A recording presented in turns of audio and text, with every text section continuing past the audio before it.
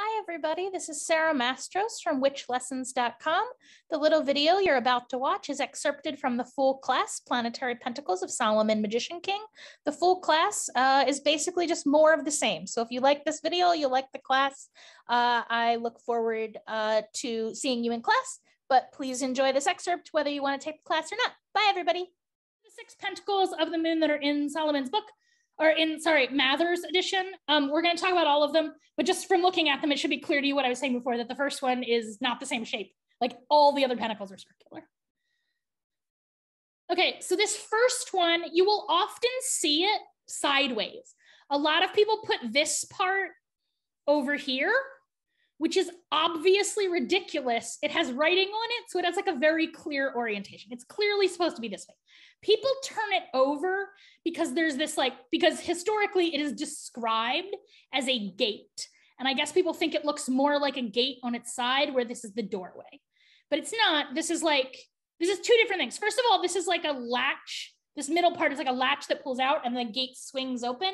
But more importantly see this this is a four pin tumbler lock this style of tumbler tumbler lock this exact one here is from ancient egypt but this style of tumbler lock was the like de facto kind of lock and key used throughout the Middle East and Europe, basically starting from like the oldest locks we dig up through like the 1600s. This is basically how all locks work. And hopefully is clear to you that this seal is a picture of this object. Now, the reason I know this is because, fun fact, my late father used to collect antique padlocks. So like if you Google Mastros collection padlocks, you will see why I know a lot about padlocks. None of that learning was was voluntary. I was just taught a lot about padlocks as a kid. Okay, so the text on this one, right? This one has a lot of text on it. Um, so, oops, sorry. Line one here and line four are the versicle. Now, when I make this pentacle, I actually usually switch lines four and five.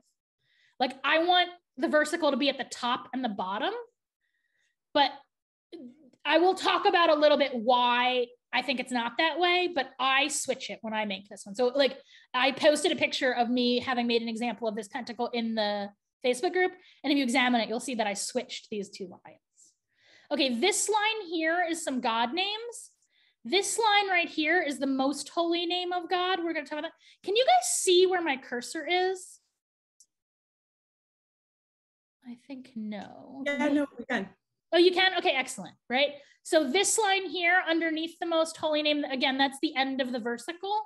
And then this last line here is four different angel names. So I wrote them all out here because they're a little bit hard to see in the handwriting. Um, the versicle, like that's a quote from Torah. So I know exactly what it says, so I can put vowels in it. These other ones, I have not been putting vowels in them to sort of stress that like all I have is what's on the pentacle right? So this particular versicle, I think I explained this in a previous lesson, but if I didn't, a versicle is just like a portion of a Torah verse. Um, so this one, and you'll see as we go through, many of them come from Tehillim, which is the actual book of the name Christians call Psalms, uh, 107, 16, right? And it says, he broke open the gates of brass and cut the bars of iron asunder. So that translation there is the JPS translation, the Jewish Publication Society. That's pretty standard translation. I'm usually gonna use that. But I wanna make some comments here. First of all, this word brass here, it actually means bronze, like brass was not invented yet. It means bronze, right? And broken usually means broken, but it can also mean to separate or to like open up a nut. So in the context of a door, like I don't think this is like battering down the gates. I think this is just regular like opening the gates. Like you're not damaging them when you break them open. You're just opening them. Um, if you read the context of this particular psalm, which is the first in book five of the Psalms, the doors that are being opened in the psalm are very clearly like bondage and slavery. Like that is the door that is being opened, is the door to freedom. That's like, that's what this quote is about in the psalm.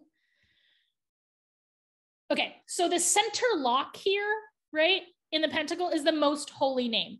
This name cannot be pronounced by the human voice. Some people say Jehovah or Yahweh. Personally, I believe both of those pronunciations to be like weird and gross and appropriative. You are not supposed to say this name out loud. It it actually like I actually really does bother me when people use those, but I don't know. People do a lot of terrible shit to Jewish gods, and so I, don't know, I get over it. Like as long as you're not a Nazi, fine. But it'd be better if you didn't try and say that name. So respectful people uh, use a placeholder instead. So there's a lot of different. It's called like a. I actually had a conversation on Facebook. It's technically called a Noah name, um, but I think of it as an apotropaic cryptonym. Like you are changing and saying something else, so you don't have to say this very powerful name, right? Just like we sometimes call God, I don't even want to say the word out loud. Like the F word, we sometimes call them like the good neighbors or the kindly ones or like the fair folk because we don't want to say a name that's going to attract attention. Or similarly, the way we might call like Hades, we might call him Pluton, right? The rich one, because we don't really want to say his name, it might attract his attention, right? Similarly, we use a lot of different ones. The one I usually use is Hashem, which is Hebrew, just means the name. A lot of people say tetragrammaton, which is Greek, and it means four letter word, which I personally find delightful as that also means like a naughty word. Um, so I like to think of it as the four letter word. Ooh, okay. Um, the oldest surviving inscription we have of this name is not that old, right? It's like ninth century BCE, but pretty much everybody is in agreement that the name itself is much older than that. And probably there used to be, in addition to like a prohibition on speaking it, there probably used to be a prohibition on writing it. And that's why we don't find it written down until much earlier. It's pretty much everybody's in agreement. This is a very old name. It's probably Canaanite in origin. Um, but like in terms of language, like those Semitic languages are very tightly entwined. So it's they're still easy to understand, right? This is almost certainly related to the Hebrew root word meaning to be. And you're going to see that about a lot of the names we're going to talk about. Um, it's also related to the name Ehyeh, Asher, Ehyeh, which we're going to talk about later in this lesson, right? So that's the name that, like when Moses asks the burning bush, like what its name is, and he's like, I am what I am, right? So we'll talk a little bit about that name. So up here in the second line, we have a list of different God names, right? Now in Judaism, there's this real tension that we don't always like to talk about, about the fact that like there's one God, but also he's got a little like they've got a lot of different names, and those names are not interchangeable. Like when you say a different name, you get a different thing. So is it one thing or a lot of things? We don't talk about it. It's complicated like really like it really is it's like a, it's a mystery is i feel like the best answer you're going to get to that it's sort of what i was saying before about the like el participating in elohim so the first name we have here is yahoo it it um it, it basically just means lord it's usually translated lord i guess what i will say is when it's in theophorics so like people that are named after gods so like the name eliyahu which in english is the name elijah like it has this yahoo name in it right um the next name is just the same holy name we had in the middle, right? Same one. The next name is El, which we talked about a lot last lesson, right? And the third one is Jah, right? This is a very old name, possibly the oldest of all of the names we're going to talk about anywhere in this course, Jah, right? Um, it's just another name for God. Like it doesn't, it doesn't have a like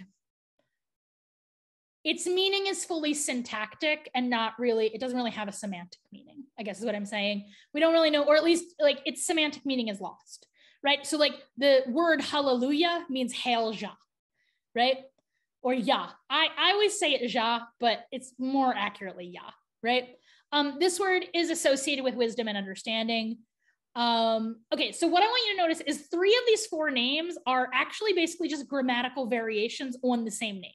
Like Yahoo, Hashem, and Jah are like all the same name with like we sort of permuted the letters around. And then El is a totally different word, like linguistically unrelated. We talked about that one a lot, right? So that's one of the things I want you to keep in mind here. But these are all very like sort of straightforward names that they don't remember I was saying the different names have their own like different flavors. We talked about that when we talked about making the great seal. These are all pretty like relatively neutral ones, right? As opposed to like El Emet, the God of truth, or like El Chai, the God of life. Those have like really sort of specific, right? Those are gods of things. This is like big G, you wave your hands around God, is how my grandmama would have said it. Okay, so line four, sorry, I don't have a little picture here. So this is the line on the very bottom of the pentacle. Um, has four names, which we generally interpret to be angel names, right? These names, as far as I know, none of these names appear anywhere else, right? Like these names are on this pentacle, they don't occur in like other magical texts. I mean, that predate this one. They don't occur in uh, Torah at all, right? So we're going to talk about each of these names in, one at a time, and you'll be able to see that some of them I feel like I can give you a very clean translation of what they mean, and some of them I'm going to have to like play some magician rabbi games, right? But they're all going to be I don't know. I'm going to do my best, but feel free to push back if you disagree. Like I welcome a debate on these. I guess is what I'm saying, but I'm doing the best I can. Okay, the first one, Sheuel, is how I would say it. Again, there's no vowels on the pentacles, so it's hard to know exactly, right? I think this word is almost certainly like, even if you don't know any Hebrew at all, if you look at this word and this word, which is Aramaic, and this word, which is Hebrew, those are all versions of the same thing, right? Which is a name, a Semitic name for the underworld and also a name for a variety of underworld deities, right? So just like Hades is a name and a place, just like hell is a goddess and a place, like Sheol is also a personage and a place. And this name is clearly a variation on this one.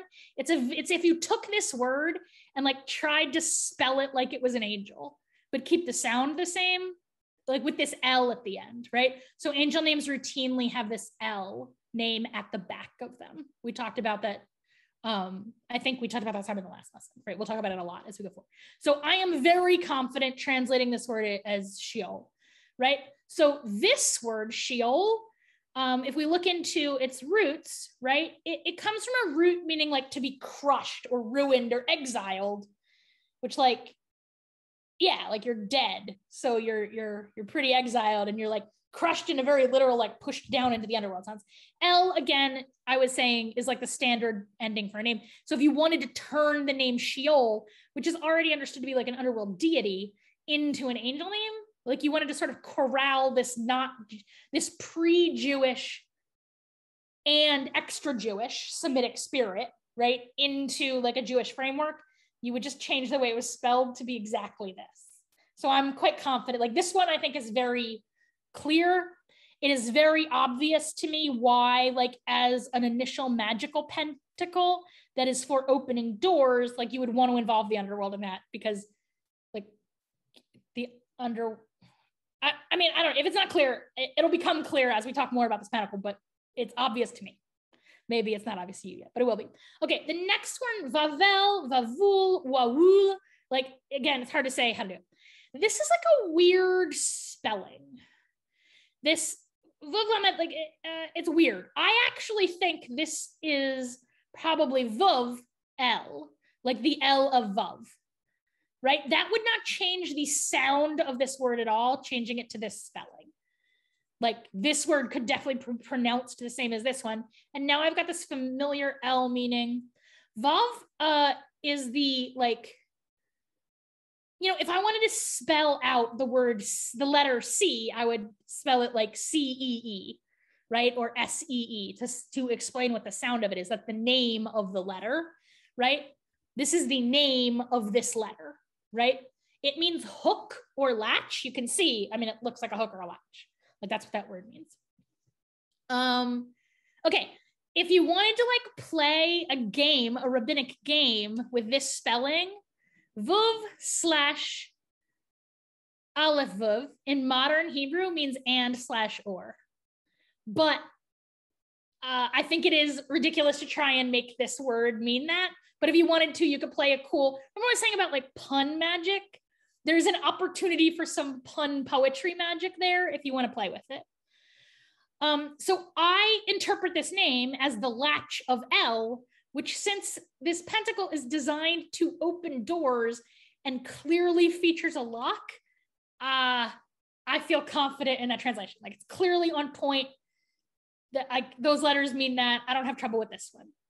This one is, in my opinion, the hardest of these to translate, right? So Iashel, Iash, right?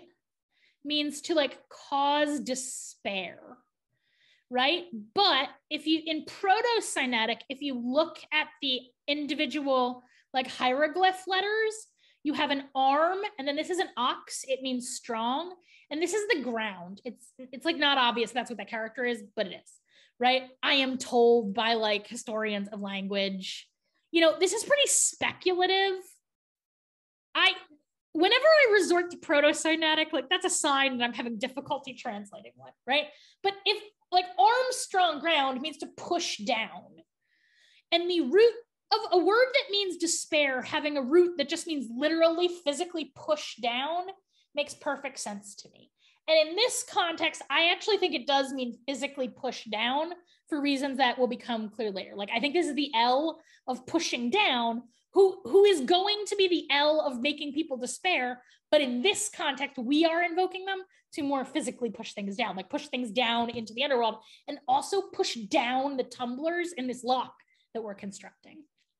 Okay. Uh, vehiel is a little hard, right? But this word here, vehiu, means they will have been, right? So this, I mean, okay, I realize that maybe if you don't speak Hebrew, it's not super clear that these two words like are closely related, but that Hebrew conjugates weirdly, right? And this is actually a form of this root word to be that we've been talking about, hey, yeah, right? Um, so even if this isn't they will have been, it's definitely some kind of like past tense of the to be. This is a little tricky, you know, verb tenses in Hebrew are not the same as they are in English. So particularly, you know, to be is a really irregular translation in English, like am, was, had, has, have been. Like the word, it's a weird word, right? It's weird in Hebrew too, and the weirdness doesn't fully match up, right? But this angel name is definitely related to this name well, definitely is a strong word. I think those names are related. Okay, so but if we put these names together, we have underworld, latch, push down, will have been. That is to say, this pentacle, which is designed to open magical doorways, literally has the words unlock the gates of the underworld written on it. So I am quite comfortable with this translation, right? So just to show you, these are the gates into the temple. This is the gate into like, you know, the, the temple in ancient Israel had like catacombs underneath of it. This is the entrance to those catacombs. If anybody wants to try like some like trance journey through these gates here with this pentacle, strongly recommended, right? So what they're saying is, oops, like with these words, you're going to push down, right? on this lock to open it. Right. So I'm going to talk about how to use it and I will explain magically, like technically a little more. But first, I want to talk broadly. Right. So this pentacle, the first way I use it is to open the gates of the underworld. Right. So, like oracular necromancy, talking to dead people, like you did in lesson one. If you're having trouble with it, throw this pentacle at it. Right. I sometimes use this one to empower other pentacles. Like I will open a gate to like a magical space and then do things with other pentacles, right? And I also use this pentacle as a sort of like key card to access a like secret magical teaching place uh which is like the blah blah blah contact of some and secret magic organization headquarters you'll learn more about it in lesson 12 if you make it that far lesson 12 will be like an only oral teaching. Like I will not be recording that one. And like, I'm not gonna, I mean, I'm not gonna like sue you for copyright infringement or like curse you if you record my oral teachings, but like, I'd rather you didn't. And it would be a shitty thing to do. Like, please don't do it. Okay, so uh, the most common way many people use this is to open metaphoric doors, right? The kind of magic that we usually talk about is road opening. Like you can do that with this pentacle. This pentacle, particularly given the context of the psalm, is specifically good for getting people out of prison, either literal or metaphoric prison. Okay, we're going to talk about how to teach a pentacle to your book. But in order to do that, I'm actually going to talk about other pentacles first, how to do them. And then we're going to have to modify that a little bit for this one, just because it's a different shape. So the geometry of it works a little differently. The first most important step is to understand the seal. Like I am not saying you can't make these seals work without understanding them. I see many magicians get solid results from these pentacles, despite the fact they obviously do not understand them. Like you ask them, like, what does this word mean? They're like, I don't know, it doesn't matter. And like, I think it does matter, but you don't really like it's not the only thing that matters, but you should do that first. Next thing you should do is just physically draw the seal in your book. If you are clever handed, like good at drawing, you might want to draw it once you're already in magic trance. But I am like not my ability to draw straight lines is like not that great, especially when I'm also trying to do magic. So I draw them first and then do the magic on top of them. But if you're an artist, you might want to do those at the same time. Next thing you're going to do is open your great seal. And that involves like first you get in magic space time and then you invoke Solomon and then you open the seal. There's the whole process, right? So this is where the actual magic starts. Like before that, you're doing just like book learning and then just drawing a thing. Okay, you're going to awaken the pentacle. This is broadly the same way you would awaken any kind of talisman or any kind of physical object or even materia, right? But pentacles like we're going to do them a little specifically because they have this geometry to them that we can access. The first thing you want to do, uh, again, the first moon one, the one we just talked about, is actually a special case. The slides maybe should have been a different order, sorry. Right? Um, you're going to awaken the circle as a boundary first. And your goal is it's basically like a semi permeable filter. Some things can cross in and out of that circle, and some things can't or I usually think of it as a lens. Like I'm going to build up basically a cone of power inside the pentacle. And I'm going to focus it through the lens of the versicle around the, and you know, the things around the boundary are actually not always versicles. I'm going to focus it through the lens of whatever's around the boundary. Next, excuse me. Sorry. The next thing you're going to do is awaken the internal geometry right? We talked a little bit about that with the Great Seal, which had actually a much more complicated geometry than any of these do, because these were drawn by Samuel Liddell Mathers, and the Great Seal was drawn by me, and I have a master's degree in fancy geometry. So like I, I lean into the geometry part on these pretty hard. Then the last thing you're gonna do is awaken the names on the inside, like call those spirits until you like feel their presence, right? You're gonna do that over and over until you just, just like with the Great Seal or any other kind of magic, if you're if you're you have any experience at magic, like you don't have to be good at it. If you just have experience. So if you don't have this now, by the end of this class, you will develop this experience. You just can kind of feel when it clicks into place. Like it'll come together and you'll be able to feel it.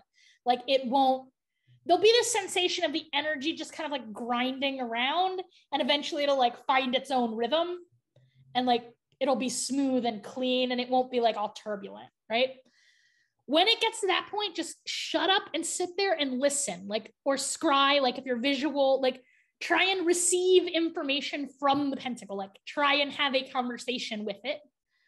And especially if you're new to this, that can take a while. Like, I don't mean sit there and listen for two minutes. I mean, like, until your candle burns down, like, like an appreciable length of time, sit there and listen, right? And you can subtly pour energy in, but at this point, you should be it should be the other way. You should be receiving from the pentacle not pushing it down right? You may or may not get some special instructions at this point. So i a lot of times get instructions to like color it right? They'll be like i wish those letters you drew had been yellow. I was like okay i can make them yellow. Like fine right? So i get that a lot of times. Sometimes i get other like uh you you you should draw a heart in the upper left corner. I'm like, why? And they're like, you just should. I'm like, okay. Right. Unless they tell me to do something that like seems dangerous or really like insane, I'm mostly just like, okay, if you want your name to be yellow, your name can be yellow. Like I just trust my instincts on it. Uh, next thing, whenever you're done, right, you're gonna like sort of just close the energy in, but you don't really have to do that. Just flip to the page with the great seal on it. Like, like the pedal is closed because you changed pages in the book, right? and then spin down the Great Seal. And that basically, the way I think of it is it sort of like puts the whole book to sleep. Right. So at that point, you're done. Remember to say thank you to everybody. I like to wrap my book up before I put it away, but that's like possibly because I like spill stuff on my desk pretty often. Like I'm not, as I mentioned, I'm quite clumsy. Like it's not just fine motor control. My gross motor control is also not tip top. Okay, so now we're going to talk about awakening the first moon pentacle in particular. This one, it's shaped like a lock, right? So that's how we're, that's like the geometry of this one is it's a, it's like a mechanism, right? So I'm going to teach it as a lock and key, right? The versicle told us that that middle name, the sacred name in the middle is the key. Like it's the key and also the keyhole, right? The tumblers are made out of God and angel names, right? So first you're going to awaken the central key, then the gate, then the lock tumblers, then you're going to lock it with the holy name, and then you're going to let it sit. I know that didn't make sense. So now I'm going to like do it here. So you guys can see my cursor. Nobody said no, so I'm gonna assume that means yes. Yeah, we can see your cursor. Okay, excellent. Right. So I'm gonna try and walk you through this. So the first thing you want, this should all be drawn before you start awakening it. Unless your Hebrew is very good, the versicles I would just do in English. Like I write them in Hebrew, but I say them in English. So he broke open the gates of bronze and sundered the iron bars. You'll notice I also changed the translation a little bit because I didn't like their translation, right? For the reasons that I explained, right? So the first thing I'm gonna do, but again, I'm, you know, I'm showing you this when I make this pentacle, I put this line down here. I, I I understand. I'll explain why it's not that way in a second, but I like it better to put the the versicle around the outside, which is partly about the way I'm using the versicle to like build this boundary around it. So that's why I switched them. But in this picture, they're not switched, right? Because I want to teach you like I don't necessarily want to teach you my idiosyncrasies, but I'll explain them, right? So that's the first thing you're going to do is you're basically going to cast, I say a circle, but in this particular instance, you actually have to cast this more complicated shape, which when I imagine it, I simultaneously imagine as that four tumbler lock, but I also imagine it as a gate with like posts. And this piece here, it's going to swing this direction when I open it. Right. So this is a keyhole, but it's also like this is like zoomed in on the lock and the keyhole, but it's also, I zoom out and I'm also looking at the gate. Like it's fractal, right? They're the same shape. If I kept zooming in, I assume every atom of that gate I'm imagining is actually shaped like this because that's how nature works, right? That's how natural shapes work. So the next thing you want to do is build, like, so you want to include these bars. You want to like make the whole structure of the gate at this point, right? Like really make sure you like understand physically, like I think this is where normal people would say visualize, but I'm not very visual. So I'm just gonna say like you need to imagine that this really is a lock and it really is a gate, right? Is both of those things. Next, you're gonna build and set the tumblers. So these tumblers are part of the, the God names. These are part of the lock, right? So I'm gonna call those Yahoo, Hashem, El, Jah. And I'm gonna do that just like we did the Great Seal. I'm gonna do it over and over until I like feel them click. This one's the hardest to get to click because you can't say it out loud, but you already called it here. Right. So I really encourage you here to like not try and say this name. You can repeat the names of the letters, but really like you are calling to the ineffable one who moment by moment breathes the universe into being. And like, if you would rather call that a different name, like that's okay. Uh, linguistically, this name is also closely. I'm going to take back what I was about to say. I'm going to keep that part out. So it's it's related to the verb to be.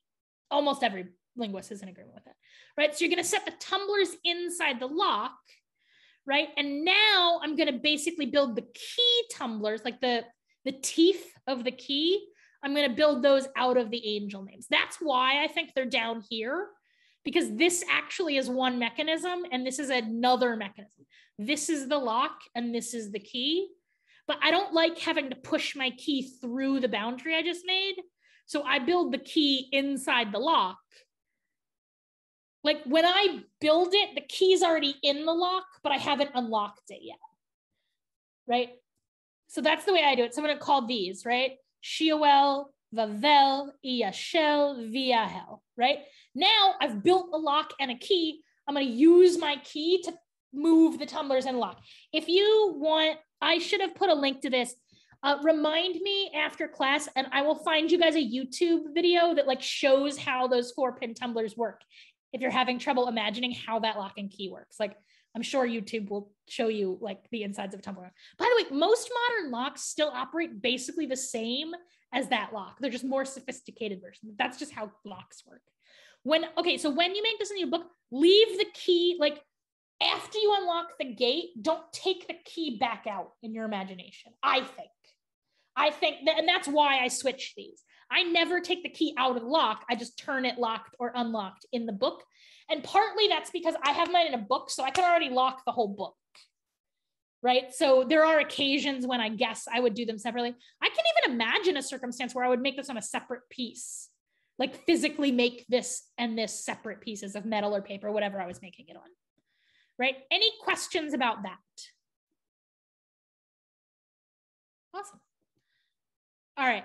Um, most of our pentacles, they just spin open and closed. Like once they're made, when you want to use them, most of them spin open and closed the same way the great one does. But this one opens and closes like a gate, right? So the first thing, the way I think of it is like I tickle awake that Hashem key in the middle. And then when I'm turning it, I am turning it. This part isn't too important. Like if this doesn't make sense, that's okay. You can ignore it. But in my mind, and like I'm I'm pretty good at this higher dimensional geometry for a human. Like I'm pretty good at it. Like the key is not turning, you know, you have two dimensions on your pentacle. Your pentacle's on a piece of paper. It's effectively two dimensional, right? Your three dimensions, there's one dimension perpendicular to the paper that like you exist in. The dimension you are turning the key through is not that. It is a fourth dimension perpendicular to all three of those. But again, like if that is confusing, you actually don't have to worry about it. It's built into the like that's the, how the mechanism of this pentacle works. But like you don't actually have to understand the inside of how a lock works to operate a lock. Like you can just turn the key, it'll work. But if you want to figure, if you want to dig in and figure out how it works, which I want to do because I want to be able to make my own that aren't that Solomon didn't teach me. Like I want to learn how he made this, right? That's I, I'm pretty confident that's what's going on. So then again, for me, the gates always open back into the page. Like there's an underworld gate. So for me, they're always going to open down. Like the gates don't come this way, they go that way. They open into the underworld. Okay. I'm going to talk a little bit about how to use pentacles. Um, any of the pentacles, right? And there are a lot of different options. But the first thing you're going to do is like sigilize. This is one, this is the simplest way, in my opinion, to do. I mean, the simplest way to work with a pentacle is just like use it as a talisman. Like you just have it on you and it does some kind of unspecified shit vaguely related to its purpose. But you can also use them more specifically, right? To, and the way I do that is sigilize the intent. You can do that into like however you want, right? take that sigil, carve it into the bottom of a candle. I, for whatever reason, I can't really justify the fact that I really think beeswax for this. Like, I really feel like it's way better and easier. Like, beeswax feels like a very useful material to like lubricate this, but I've done it with not beeswax candles and it works just fine. It's just better, right? Open up the great seal, put the candle on the pentacle you want to use, open that pentacle, spin it open, call the spirits of the seal and just like tell them what you want right? And then whatever that you know the sigil you made on the bottom you need to make a visual sigil of it but you also need to make an auditory sigil you need to turn it into a name somehow. The same way you would turn it into a picture right? There are a lot of methods for like turning a sentence into a sound. Do some of those right? And just call it over and over until you're done like again and done means like you can kind of feel it working right Next thing you want to do again is just listen. Like wait until the candle is fully burned down, which is why I'm saying use itty bitty little tea lights. You can even use like birthday candles. Sometimes when I want them to go fast, I use birthday candles. Um, but you got to be careful not to set your book on fire when you use birthday candles because they're really highly colored. And so the wax is like hotter than a normal candle. Um, and they burn down really fast. So don't set your book on fire. Um, like tea light, it's hard to knock over a tea light right? Um, let the candle burn the whole way down. Say thank you, say goodbye, close the pentacle, close the seal, close the book. That's like the most straightforward way to use these pentacles. Um, I see a lot of people doing them that way, more or less. Like that's a pretty straightforward way people do them. Okay, before we go on to the second one, I'm gonna take a little break. Um, I will be back. And does anybody have questions about that first pentacle? Or really about anything else that we've done up to here? Okay, I'm gonna run to the bathroom real quick. I'll be back in like two minutes. Feel free to take a break.